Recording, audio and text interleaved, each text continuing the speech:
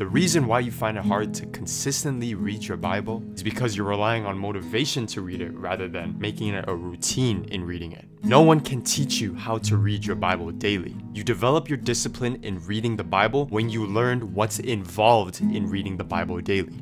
At the start, you might see no results from it. But understand that every time you open up your Bible, every time that you spend intentional quality time with God, reading the Word, that's you intentionally taking time out of your day to try to seek God, making an effort in pursuing God. And God sees that, even if you don't even understand it. When God sees that you actually want to build a relationship with Him, He'll show you something that will get you to be like, okay, this has to be from God okay, this is why reading the Bible is such a big deal. Ah, I get it. And from there, you'll start building the habit of reading your Bible, not because you want to read it, but because you're trying to hear from God.